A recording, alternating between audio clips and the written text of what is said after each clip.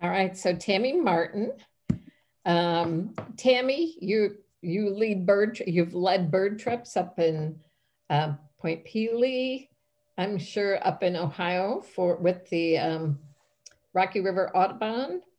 Um, Black River, Black River Audubon. Black River. Oh, right. Not Rocky River. Black River. That's all right. I knew it had a river in.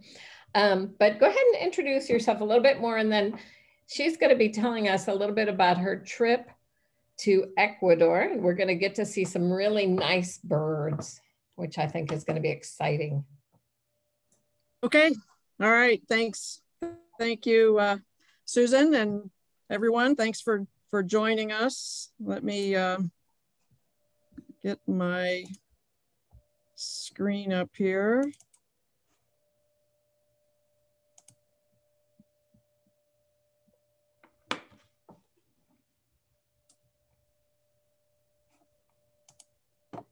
Can you see anything? Yep. Yep, we got it. There we go. Okay. Um,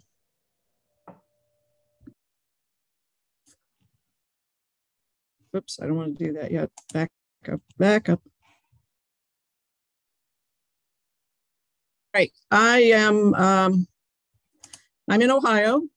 Uh, I live in Northwest Ohio. I'm a retired from um, Oberlin College. I was a library cataloger for, I, well, I worked for Oberlin for 20 some years. Um, I was highly involved with our local county Audubon group, Black River Audubon. I also have been helping for 10 or more, 12 years with a Road Scholar program uh, up, based out of the, the Bass Islands on Lake Erie.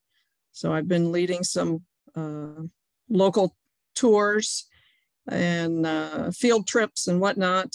Um, and uh, back in 2015, actually, I decided it was time to, I, I, birded a fair amount of the US. There's some spots I haven't done yet. I haven't done any pelagic trips yet. I need to do those. Um, but I decided I needed to start some international birding. So in 2015, I went to Panama with a group, um, Sabrewing Nature Tours out of Indiana.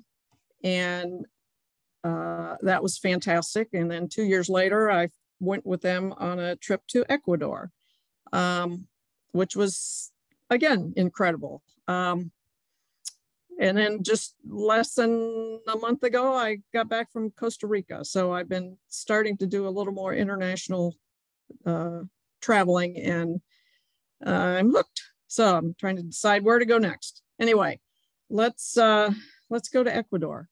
This is um, let me see if I can. Am I coming through okay, Susan?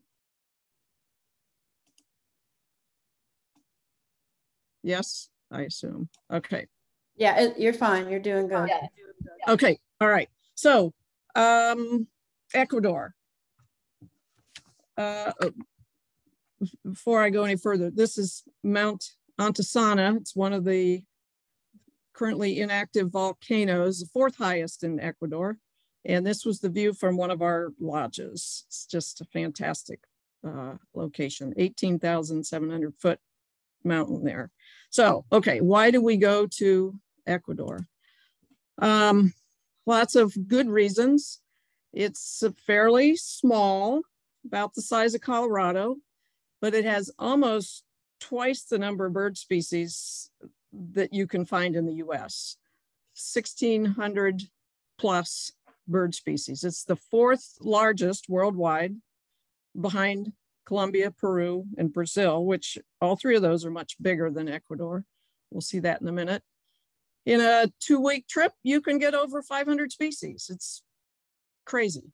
Uh, the lodges are good, food's good, infrastructure's good, lots of various habitats that uh, allow for var the variety of, of uh, bird species that you see. You do have to remember it's on the equator, so the daylight is 12 hours. You have to get up and be out there by 6 a.m. because at 6 p.m., it's going to get dark. You don't get the daylight savings time that we are fortunate to have up here in uh, temperate America. So um, that was one thing we had to keep in mind. And on a side note, they're the top, one of the top exporters of bananas and roses. How can that be bad? So um, let's see where Ecuador is for those that may not be, be familiar. South America, it's that little circled country there on the left, uh, on the western side of South America off the Pacific Ocean, uh, surrounded by uh, Colombia to the north, Peru to the south. Um, bird-wise, Colombia is the has the most diversity, followed by Peru, then Brazil, and then Ecuador is, like I said, is fourth. So if you're trying to get the best bang for your buck and the size of the country, Ecuador tends to hit all the all the buttons.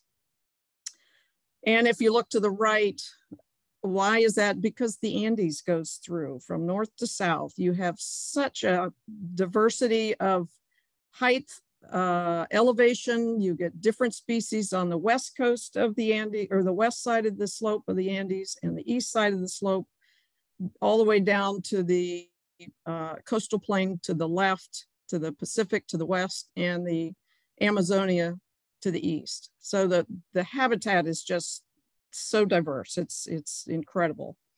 Um, the Northwest cloud forest, the most diverse parts are the Northwest cloud forest, the Andean slopes, and the Amazon lowlands, which are the areas that we visited.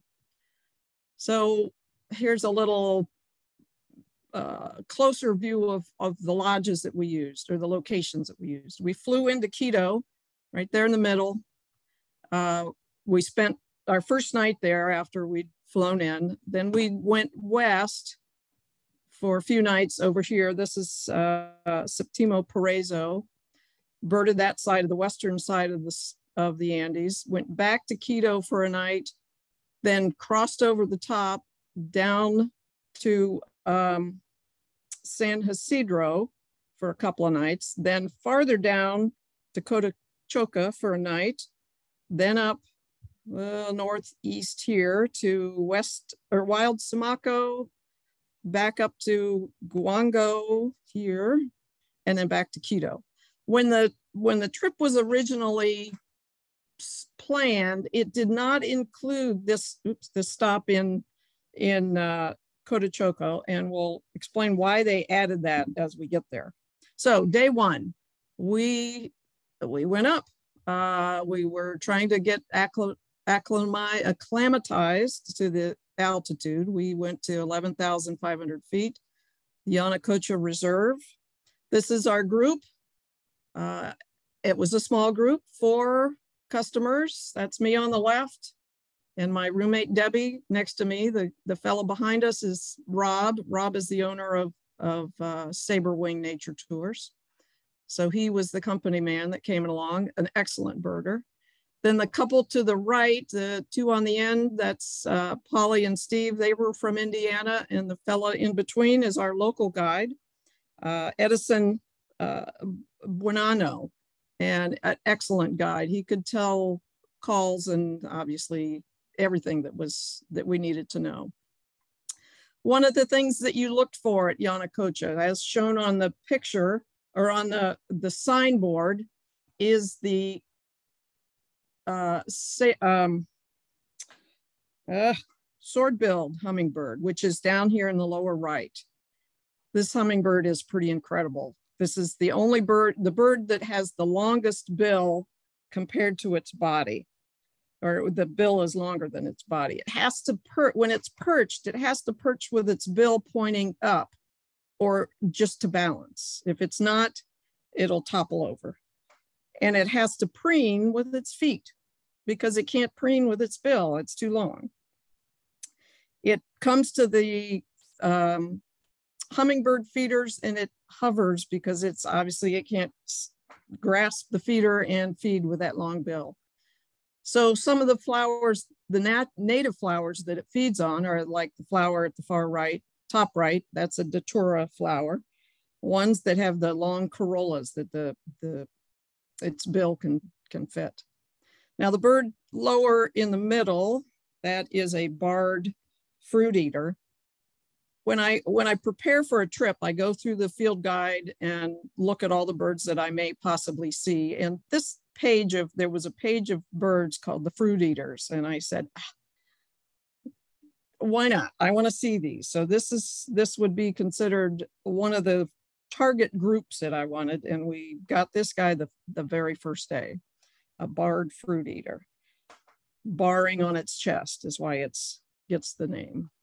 And that cool plant to the left. I have no idea what it was, but it was cool and I like plants too. So um, let's see, let's go on. We stopped at Yanacocha and had lunch and we ate at this under this little shelter here you see at the bottom left. Um, and in front is the hummingbird feeders. That's where we saw the sword build coming in. And we also saw this little guy to the left. These are all three of the same hummingbird. This is a um, shining sunbeam.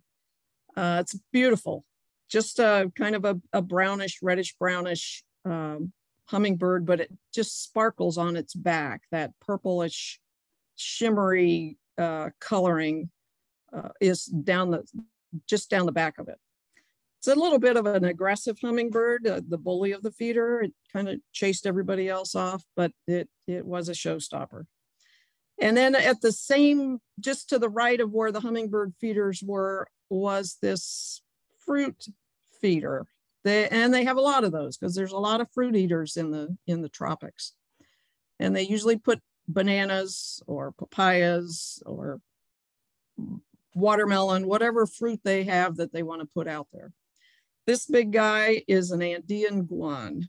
It was the bully of this feeder and it came up and it just helped itself to those bananas. Kind of this, kind of about the size of a pheasant, maybe a little bigger, but very, very good tropical bird. So our first lodging uh, of any length was at Septimo Paraíso, which means seventh heaven. We were here for four nights uh, when we were birding the western slope of the Andes. This is in near the town of Mindo, which is considered the jungle capital of the area. Wonderful grounds for, for birding. It had, and if you're there for the lodge, it had a lovely pool. It had a chocolatier, of course, on the grounds, which we checked out one afternoon when we needed a break. But across from this entrance was a hummingbird feeding station. Um, most places had these feeding stations because there are a lot of hummingbirds in Ecuador. But this feeding station was uh, laid out in kind of a circular uh, circle. There were seats in the middle, and uh, over a dozen feeders were scattered around the circle, and they were numbered. So we would sit in this in the benches or stand with our binoculars or our cameras or whatever, and our guide would say, "Oh, look at feeding station number six. It's got thus and such on it." And here are some of the hummingbirds that we saw. Um, top left, there. Well, first, hummingbirds in Ecuador, they have approximately 135 different species of hummingbirds, 40% of the world's hummingbird species, more than any other country. We saw over 60 species. Now, trying to remember those when you got home, it was a good thing we had a checklist to just keep track of what we saw. Some of the ones we did get and that I was fortunate enough to get some pictures of. Top left is the brown violet ear. Uh, bottom below him is the green thorn tail, that's a female. Top right, velvet purple coronet. Note that when he, he's got his wings cocked, when they fly up to the feeder, they cock their wings before they bring them down to their body. We'll see another one later that does that as well. And below the coronet is the white-necked Jacobin. Now the feeder in the middle, there's about nine different species there.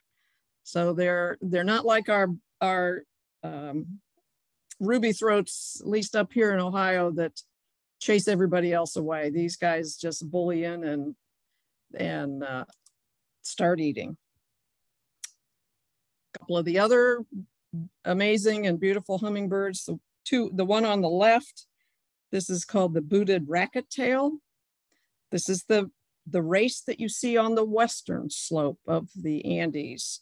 Note the white boots, the white booties on their feet, those little feathers, and that beautiful racket tail. Now, once you go to the eastern slope of the Andes, those boots are orange.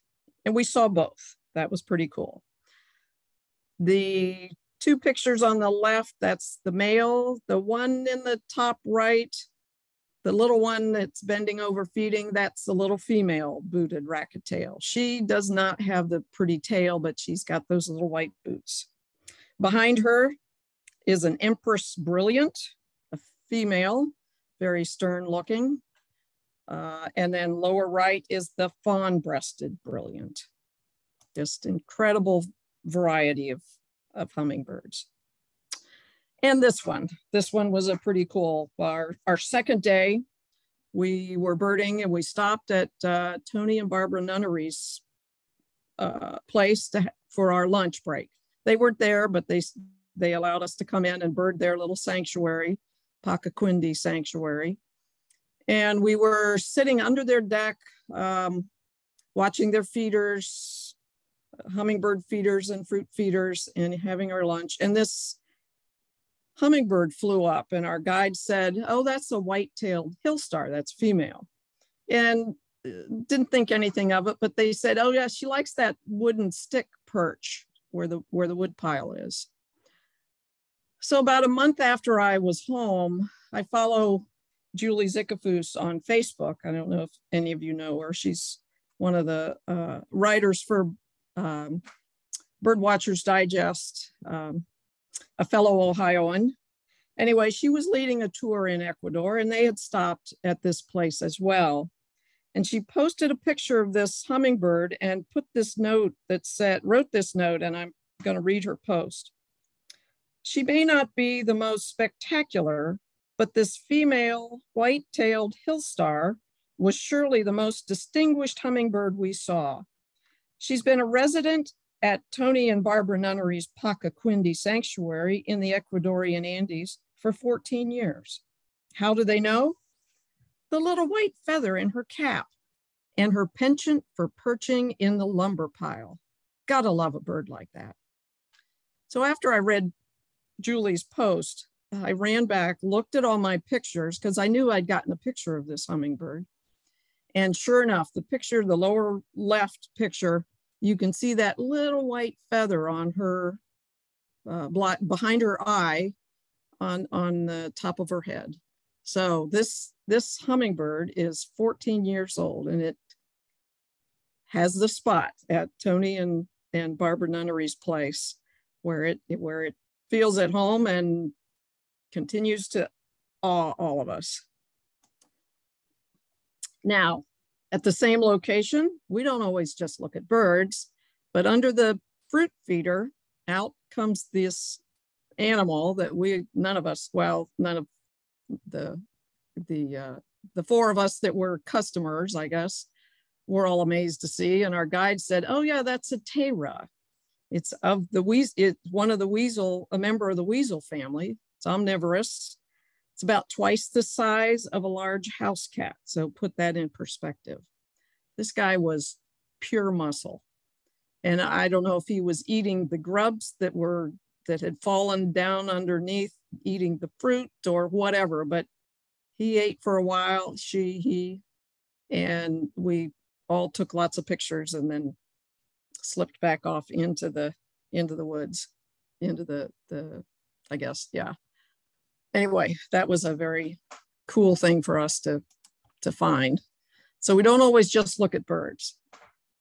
However, tanagers are rank right up there with the hummingbirds. Um, these are what I would consider the warblers of the tropics. Ecuador has 169 species of tanagers we saw, just as with the hummingbirds, over or approximately 60 different species of tanagers. Just crazy. They're fruit eaters. So there's lots of uh, places with, with um, feed, eating feeding stations where they put there you can see lots of whole bananas out there and these guys just come and you take lots of pictures. So top left going right, I have, we have the black chested mountain tanager, the scarlet bellied mountain tanager, the blue winged mountain tanager, and the swallow tanager. The bottom left across is the blue gray tanager, golden naped tanager, and the black capped tanager. Just beautiful. Okay, day three, we visited Re the Refugio Paz de la Aves. Um, this is a location that was known for this particular site. We got there early. We were joined by another tour group. Uh, beyond our this viewing station up in the trees is a lek site for where the Andean cock of the rocks practice doing the males come and they practice doing their displays and try to attract the females was not the most easy way easy place to get a picture of these birds so you can't quite see this guy's head but the feathers on the top of this guy, it, it's like a little pompadour on top of his head. But they were they were performing and displaying and calling. There was a lot of testosterone going around that morning. Um, incidentally, Lek, uh, this is a site where the males come and display for the females. It's from a Swedish word referring to, quote, pleasurable and somewhat unruly activities, unquote. Yes. One of the um, side benefits of this particular spot were these two wood quails that came out, the top right, black-backed wood quails. The guides have been feeding them bananas and this pair slowly made their way out, took some bananas by hand. We all got to take lots of pictures and then off they went. So this particular refuge was known for its uh, Cock of the Rock Lek site. Um, it's owned by this fella, top left. This is Angel de Paz. He owns and manages this location. He used to be a, a um, woodsman, a tree. He would harvest trees and and also maintain this this Lek site. And one day he was walking some birders through and they noticed an ant pitta. Ant pittas are very skulky. They're very uh, tricky to see. And the, the, the, uh, the birder was excited and said, oh my gosh, you'll get even more birders coming if you can get these birds to come out for uh, viewing. So Angel started trying started experimenting how do we attract these birds to come out found tried to feed them all kinds of things and found out that they like worms so he goes and he actually this the bird in the top middle this is a giant ant pitta. That's maria. Not sure if it's a male or a female but all giant ant pittas he calls them maria. And he'll sit and he'll whistle and he'll call them benga benga maria maria. Benga means come in in uh, spanish.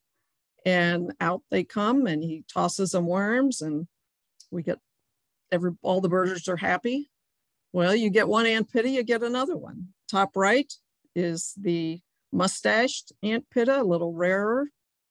Bottom left that's shakira. That's the ochre breasted ant pitta. They nickname it Shakira because it has this little habit of shifting its body. Like Shakira is the, I'm assuming you may know, the Latin American singer that likes to shake her body around. And so this little, this little bird got nicknamed Shakira.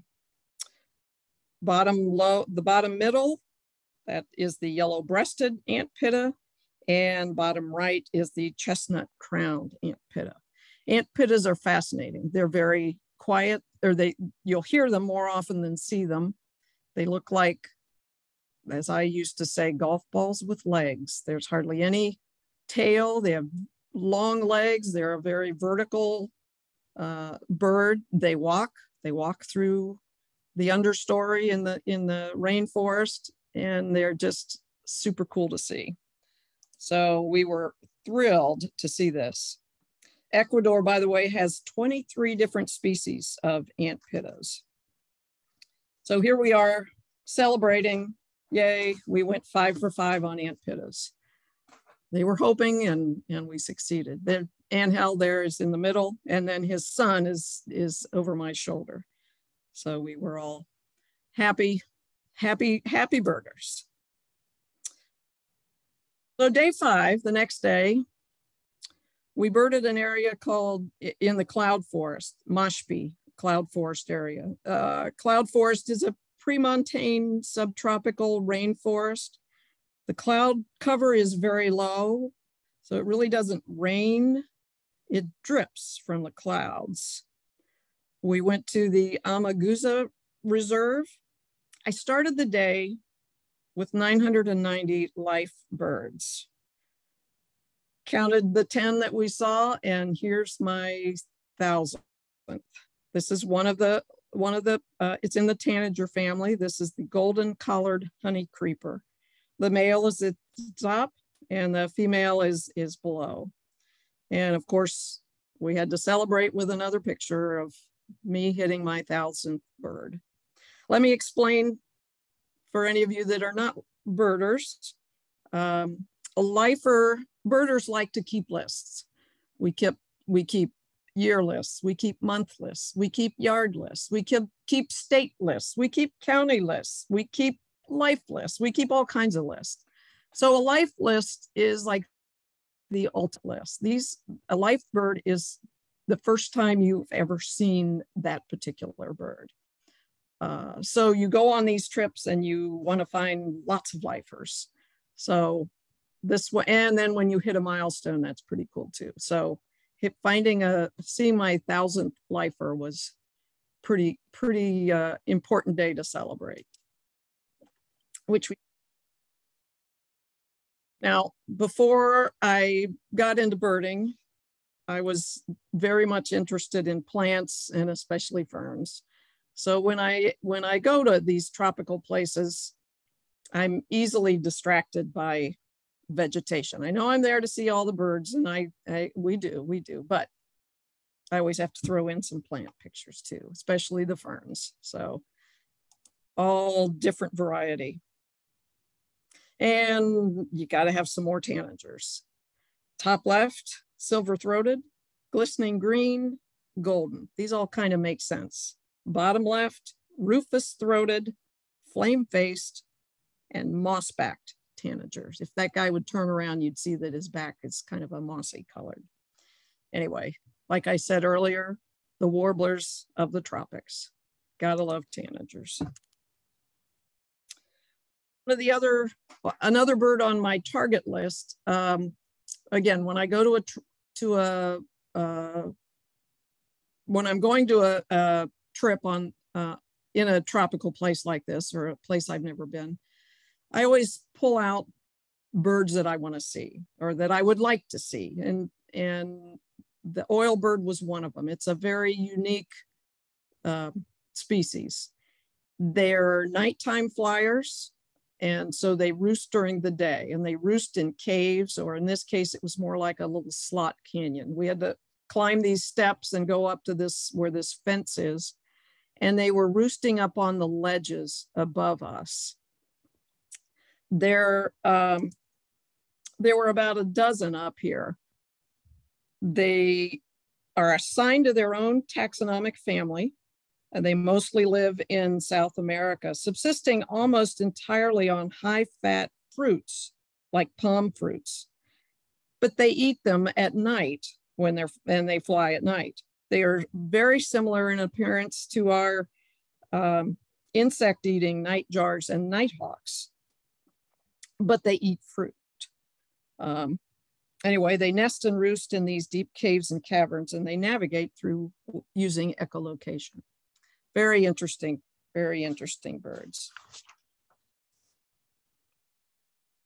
And another interesting group of, of birds and family that that people like to see are the barbets and the toucans. Again, fruit eaters, they like to come to feeders or they're very loud and boisterous and, and uh, they attract your attention. Top left is the red-headed barbet, the male, the female is next to him. Top right is the toucan barbet and bottom left is the orange fronted barbet. Bottom right is the crimson rumped toucanet.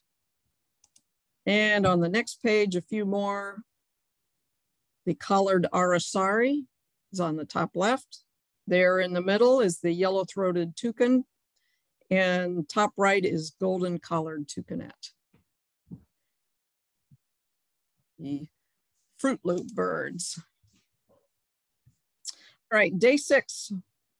We came back the night before, spent a night in, in Quito, and then we headed up high uh, across the Andes.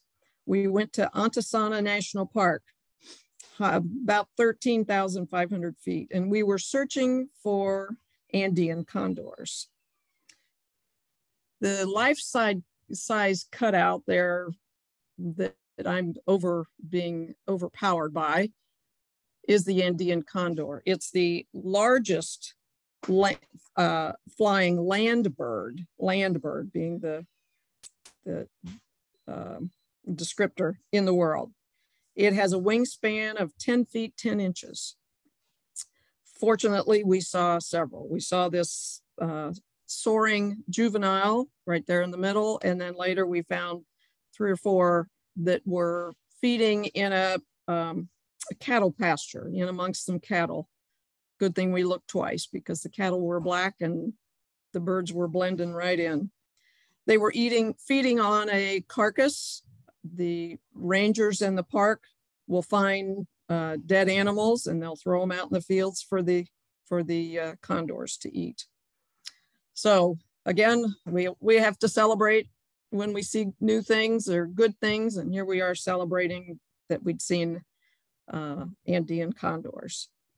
Um, it is the national bird of Ecuador. It's on their, their national seal. And like I said, it's the largest land bird, flying land bird in the world. The king of the Andes. Some of the other birds that we saw at these high elevations, the largest hummingbird. This is the giant hummingbird. It's eight inches long, big guy. The bird on the right is not very exciting. This is the black flower piercer, but it's doing what it's supposed to be doing. I like to see birds uh, behaving as they're supposed to be behaving. This is a flower piercer. It pierces the flowers to get at the uh, the nectar. And so it's feeding on the nectar of this datura flower. It has a little bit of a hook on its bill so it can bite a little hole and then um, drink the, the nectar that's there. Bird on the bottom left, it's not very exciting, but has a cool name. It's the stout-billed cinclodes. Right, so this higher elevation is, is the where you find what's called Paramo. This is 10,000 feet and up. It's a grassland area in Colombia, northern Ecuador, western Venezuela. It's the only place that you find paramo. It's very similar to the Alaskan tundra um, in that it acts as a sponge, absorbing moisture and releasing it into the um, rivers that, that flow out of this area. So it's considered paramo fed as opposed to our, if you were in um, say northern Canada or Alaska and you have glacier fed rivers. These are paramore, paramore, paramo fed uh, rivers. Anyway, it's wide open. The views, there's obviously no trees. It's wide open views. Behind us is uh, Mount Antisana, which we saw in the first view. The first uh, picture of my slides, it's a little cloudy there. But also it was windy, it was cold, and lots of tundra type, or I should say paramo type plants growing. Nothing, nothing that would be broken down by the wind. The other guy in the picture here which we haven't, uh, I hadn't mentioned before, that's our driver, the guy in the sunglasses. That's Carlos. He was our driver. So he got in a couple of pictures. Some of the species we saw in this in this area. Top left is the carunculated caracara. Uh, below him is the um, Andean lapwing, one of their shorebirds. Acts a lot like a killdeer. It's not doesn't necessarily need to be near water, like to be out in the fields. Top right is one of their ibis. This is the black, or it used to be the black-faced. It's now called the Andean ibis. And below that is the many-striped Canastero. While we were up there, we ran into a fella that was re doing research on the ibis and had some um, uh, models uh, that he had out trying to attract them. So of course, Edison needed a picture of those with one of those Andean ibis models. Okay, next lodge for the next two nights. This is Cabana San Isidro. Uh, we had a nice common area there, top left, lots of lights, lots of windows. That's where we ate our meals. It was a nice, the nice sitting area where we're enjoying top right there. Our, our lodgings were these little individual cabanas. Um, that's the one that Debbie and I shared. Very nice, just right up the, the hill from the, the dining area. Um, San Isidro is known for this owl, bottom center. It's a mystery owl.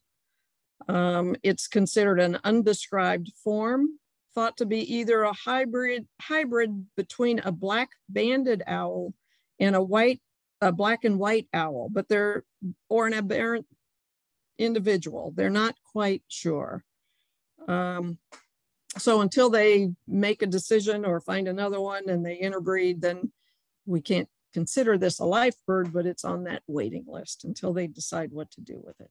But of course, we we all went out and, and found it the first night we were there.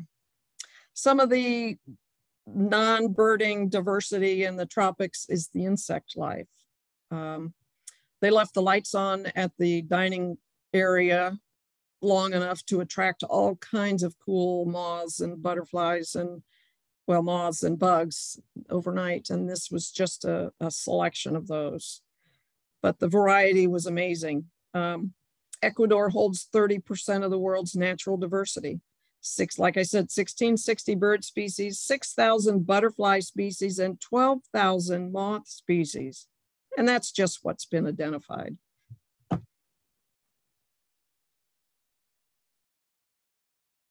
So San Isidro had an ant pitta station as well. So we got to add another ant pitta. This is the white-bellied ant pitta. Thumbs up. We added one more ant pitta. Yay. And a few more hummingbirds were coming to their feeders. Top left is the crown wood nymph. Top right is the female gorgeted wood star. And remember the cocked wings that we saw earlier, this is another coronet. This is the chestnut breasted coronet. They come to the feeder and before they stop, pull their wings in, they cock them back like that. Just an interesting and uh, cool habit, habit that helps you identify them. Some of the other bird species that we saw around this uh, San Isidro, the collared trogon, is the far left. Top middle, scarlet rumped cacique.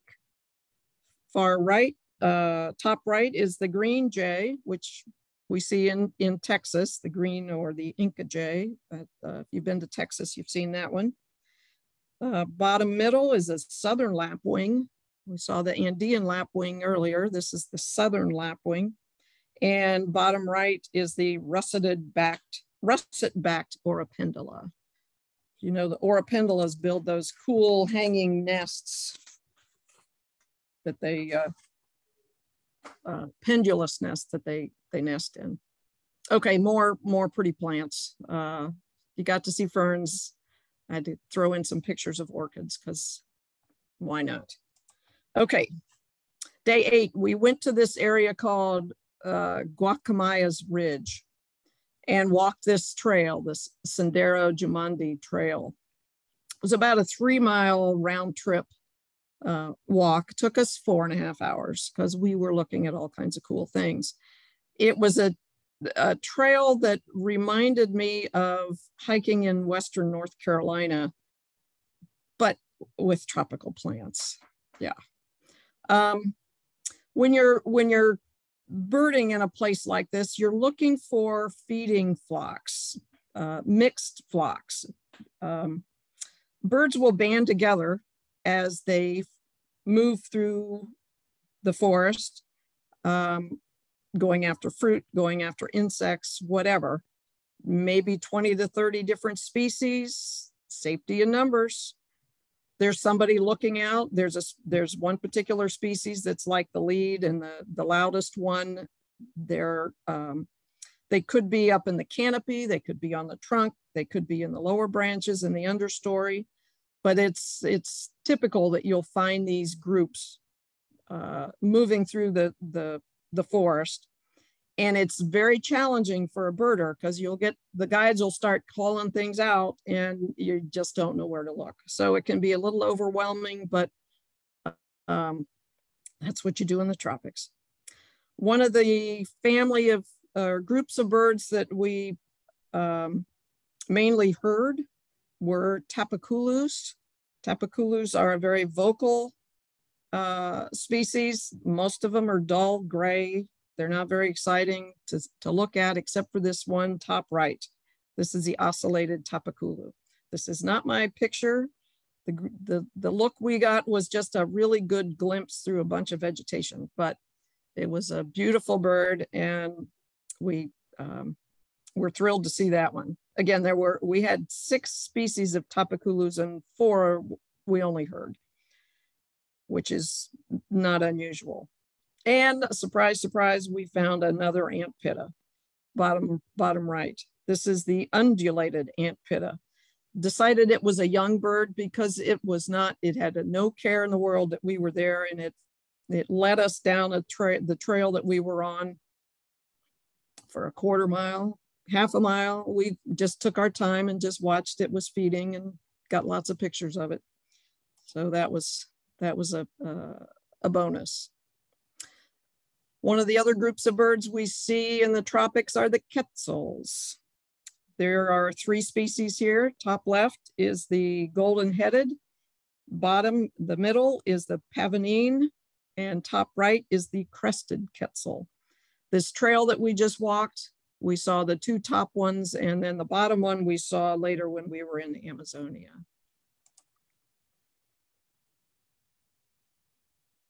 So that afternoon, after we'd done the morning uh, mountain uh, walk, we made it down to the edge of, uh, the Amazon. This is um, near the this lagoon, Paquita Lagoon, we took this ride, this boat trip, which was more like a winding canal, if if I would describe it. But you can see we've shed all of our warm clothes. It's pretty hot down here. Pedro is pulling us along, or will be pulling us along. He's one of the local guys. And just some of the things we saw, black um, spider monkey there in the middle, top middle, Far right is the saddle-backed tamarin, and middle, lower middle is the striated heron, a juvenile. So like I said, we look at things other than birds when we're here. One of my main target birds is this odd looking thing on the left. This is a hoatzin. hoatzin, we saw, oh, about half a dozen of these. They are prehistoric looking. They are crazy. They've got this wild crest. They've got a blue face like a cassowary in the body of a chicken, not to mention the digestive system of a cow. This single member of its family still baffles taxonomists regarding its evolution.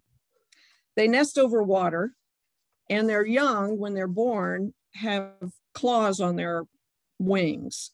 So if something should threaten it, they drop into the water and then they use their claws when it's safe to climb back up into their nest.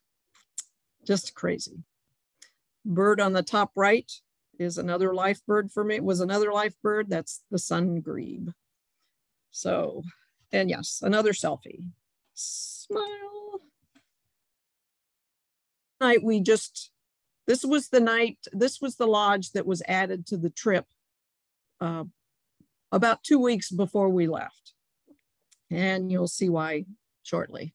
This is Cotococha Lodge. It was pretty rustic. The, we were, we just overlooked the Napa River, the Napo River, which is a tributary to the, to the Amazon. Uh, there was no electricity in the in our rooms. There was hot and cold water. And at night they brought us a uh, kerosene lantern, some sort of lantern that burnt all night. So we had light, but just not any electricity. Open air dining area, um, just and very cool, very rustic looking, trop, um, Amazonian looking.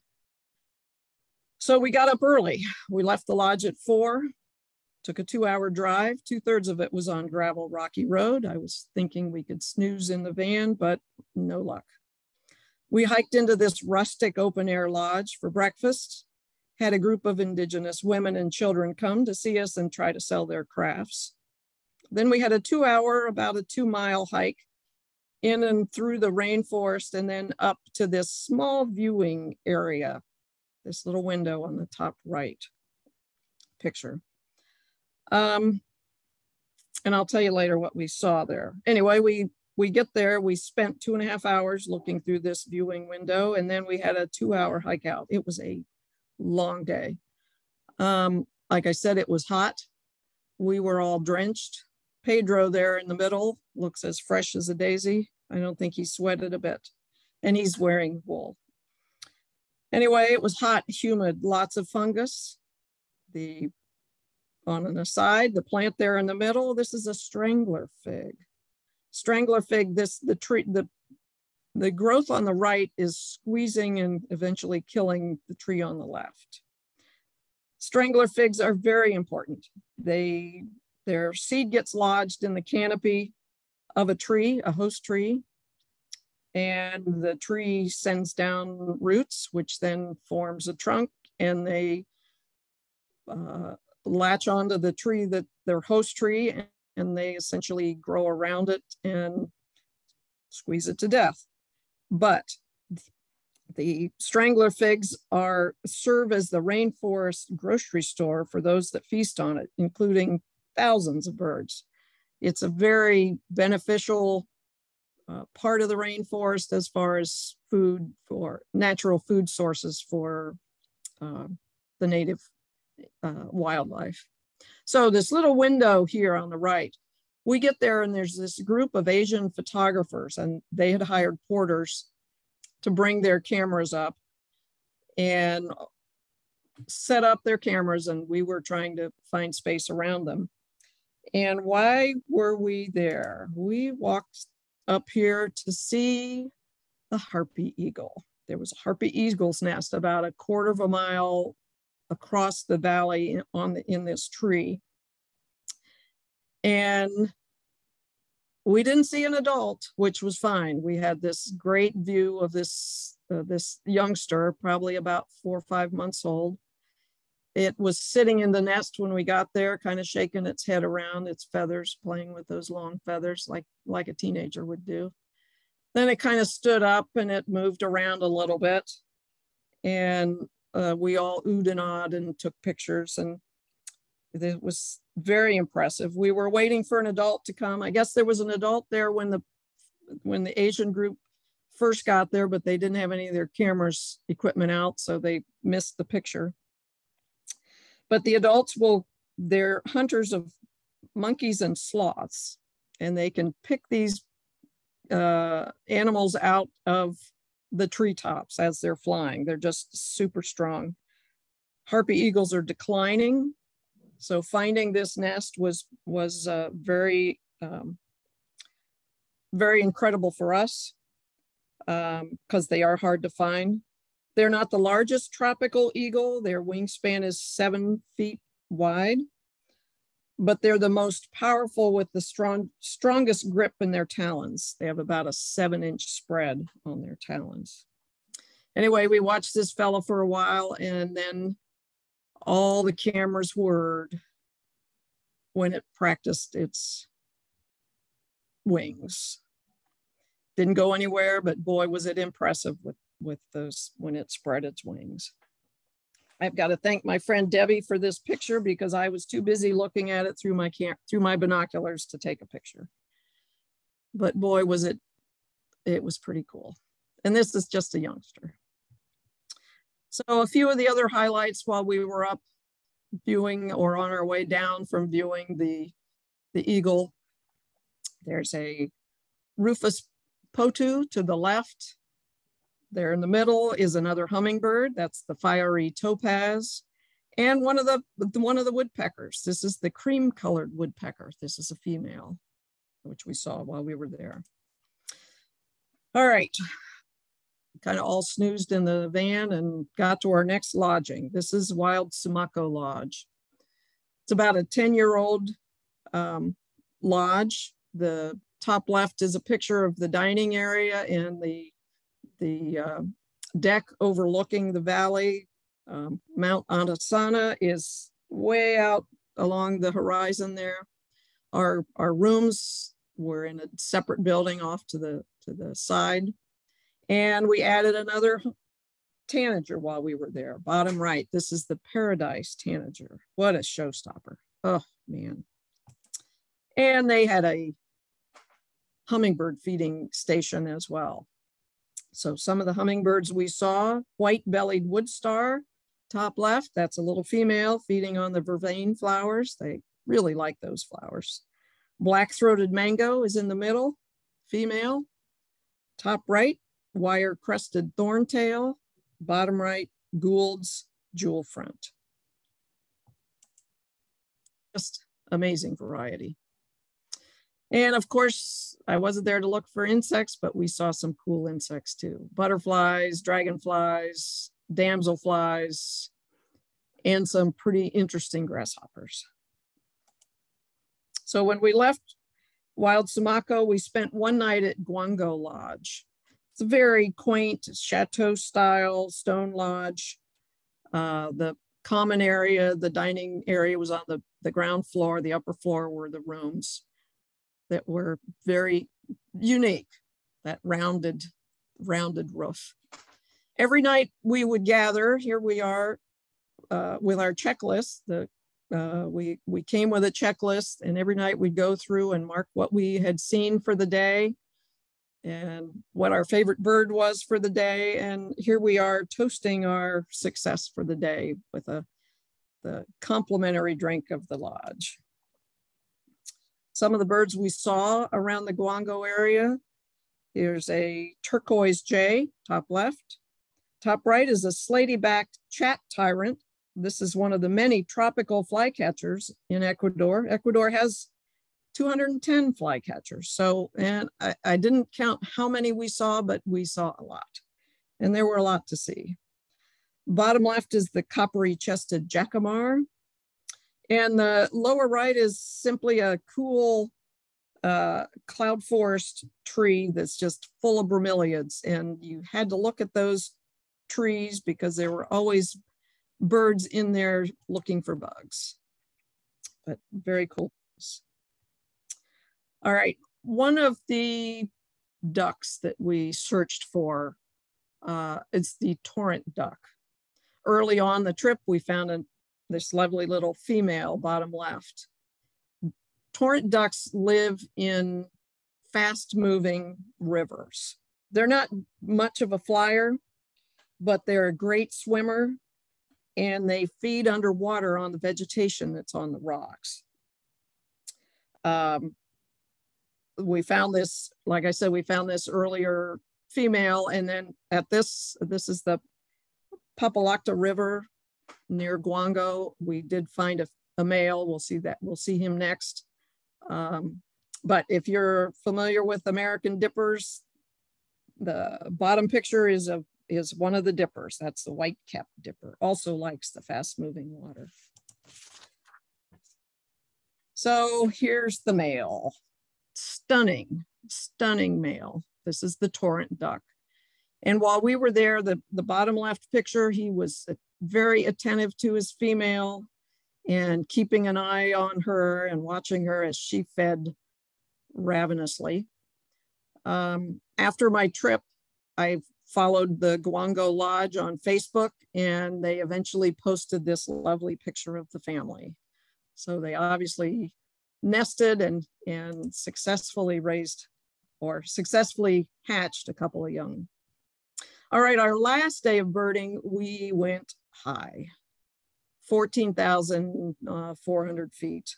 We went up to the Papalacta Pass in the Cayambe Coca Reserve. Stunning views, thin air, you had to be careful, very remote. Again, tundra type vegetation, very windy, very cold, treacherous walking, slow going. Why do you go there? Because we were searching for this.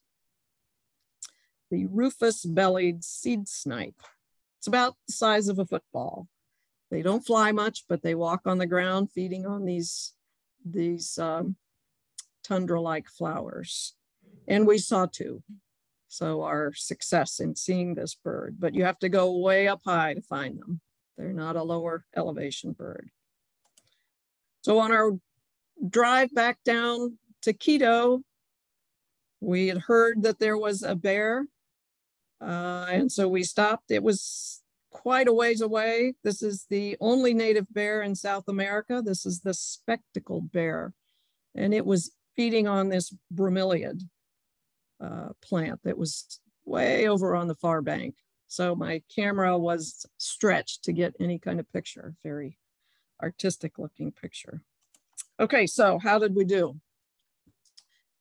My totals, my trip totals, I had 542 trip birds, 405 of those were lifers, 65 are heard only. I do keep track of that because there are a number of species that you may never see. You may hear them and I may never get back there again. So I have noted this in my lists that these are ones that I've only heard. Um, I must say that I just got back from a couple of weeks ago, I got back from Costa Rica and five of my heard only birds have now graduated into the seen category. So at some point, if I ever return, I will try to focus on seeing some of the ones that I've only heard.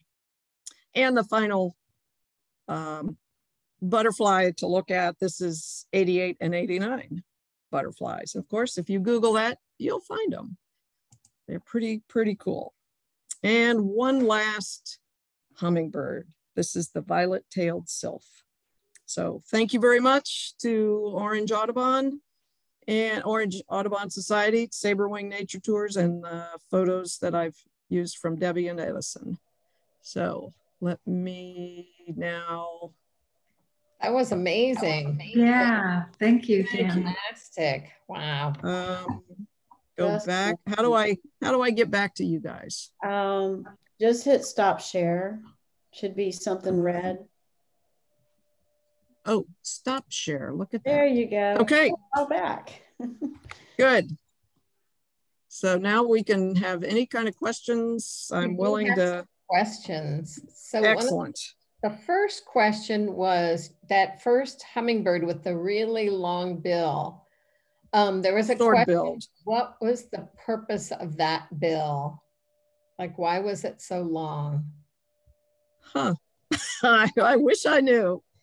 I'm i guess to feed on those long, long tubular flowers, maybe those long tubular flowers, right? Something has to feed on them. So you wonder. There are hummingbirds with curved bills. There's hummingbirds, and and the curved billed hummingbirds feed on the flowers that have curved corollas. So this is to feed on the the the plants or the flowers with the long corolla. I this is the best that I can say.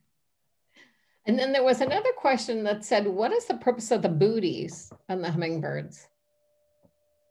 Yeah, I decoration. Question, right? Decoration. Why do they have those fancy tails? I don't know. Just the variety and tails. the diversity is yeah. is just incredible. Now but, your photos are great. Um, did you take all the photos? And no, no, okay. I did see you did. No, I, I took I took the bulk of them. but uh, my my roommate Debbie had a much nicer camera, and she took the picture. Well, I know for sure the picture of the eagle, the eaglet with its wings extended. That was her picture. And then I I borrowed a handful of pictures from Edison, our guide.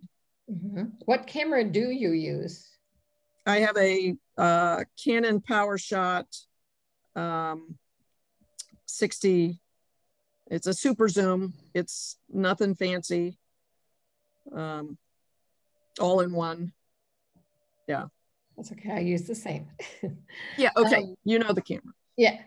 Um, Margaret said, amazing presentation. She loved that the background information on the beginning on Ecuador, but she did want to know what was the name of that bird that had the claws on the wings to climb back up into the tree again?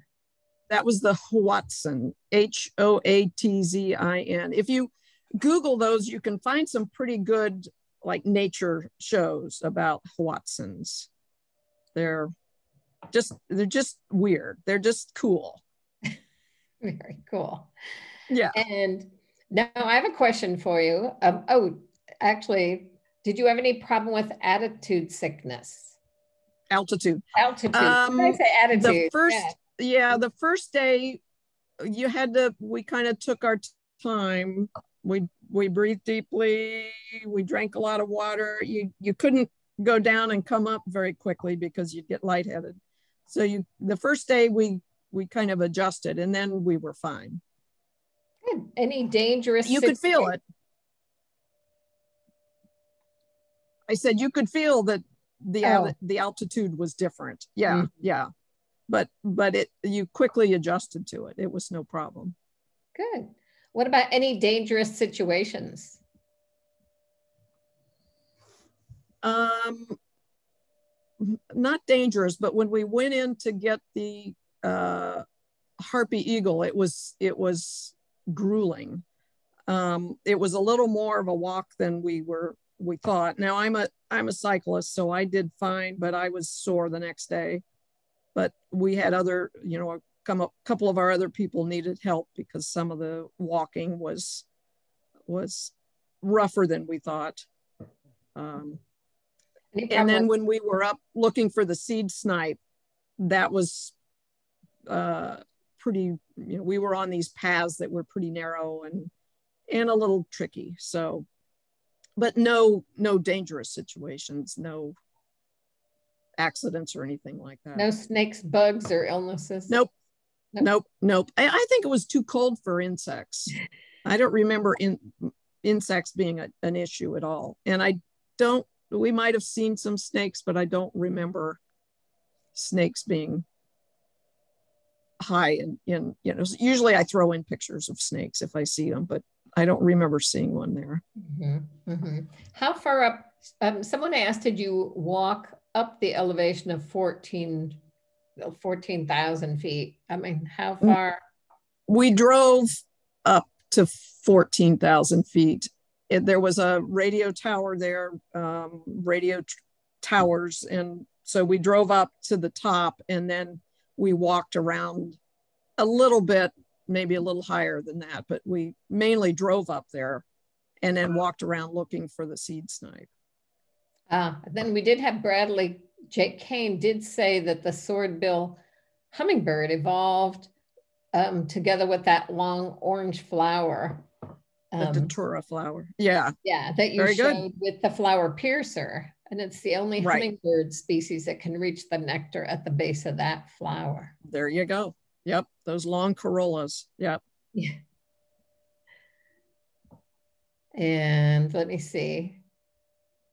Yes, the long corollas. And that's pretty much what the next person had mentioned. They looked it up on Wikipedia too. So excellent. Good. Very good. Yay. Very good. Um, Great. So I have a question. How many lifers do you have right now? Um, 1340, something like that. Nice. Very I just I think I mentioned I went to Costa Rica recently and I only mm-hmm. added 100 there. There was a lot of overlap from Panama and a lot of a lot of our migrants, so that's okay. That's okay. That's cool. And then just real quick, how would you contrast um, hiring, taking a tour versus hiring a guide? Well, I just, my Costa Rica trip, we hired a guide and there were two of us plus the guide. Um, the Ecuador and the Panama trip were both group trips, but they were small groups. We had four people. Um, I, I granted with the our own private guide, we got to see a lot of stuff, but um, and you didn't have to wait for slow people. You know, it was everybody was you know we were we were all there together. Um, I think if I I would not probably go with a big group because I'm spoiled. I like these smaller groups, and uh, a private guide was pretty darn cool. so, yeah, it again, it's it's was a little more money maybe, but not significantly more uh, for the for the private guide, but it was it was uh, worthwhile. Very good. Well, that was actually very wonderful. Pretty exciting. Now we all cool. have a list of where to go. Oh yeah, you got to go to Ecuador. You yeah. have to go to Ecuador. Did you yeah. get Margaret? And that was we were just in the northern the northern part. So, you know, I I should return and do the southern part now, but again, as we said earlier, it's all time and money. So, yep. And Deborah, did you have a question? Well, just uh, did you uh, answer Margaret's question about no illness from food? Oh, yeah. I think we did. No illness. Yeah, no, I had, right, right. Too cold for you, both. You have to be, you have to be careful, of course. You have to make sure everything is bottled and try not to forget. Yeah. But no, I was, we were all fine food wise. Oh, I did see. Pack your did. pack your tums and your Imodium just in case. oh, did you need to get any specific shots for the trip? I think I got one of the hepatitis shots, hepatitis A, maybe. Um, I don't think you needed anything else. I know when I went to Panama, I took malaria pills just to be safe because it's buggier in Panama. But Ecuador, I don't.